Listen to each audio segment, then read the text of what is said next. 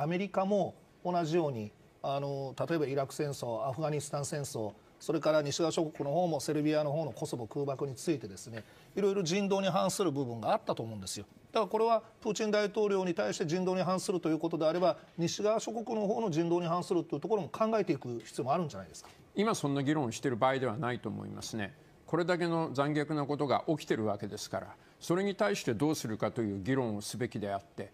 過去にこうだったああだったというような議論でなんかプーチンだけが悪いんじゃないみたいな議論はすべきでないといやそれはプーチンだけが悪いんじゃないじゃなくてその人道に反する罪ということをやるんであれば当然相手方の方からも中国やロシアやその他の西側諸国以外の国からもそういう声が出てくるわけですからそれにしっかり反論するしっかり対処できるようなものを理論的な武装を持ってからやらないと簡単に反論されてしまうと思うんですよ。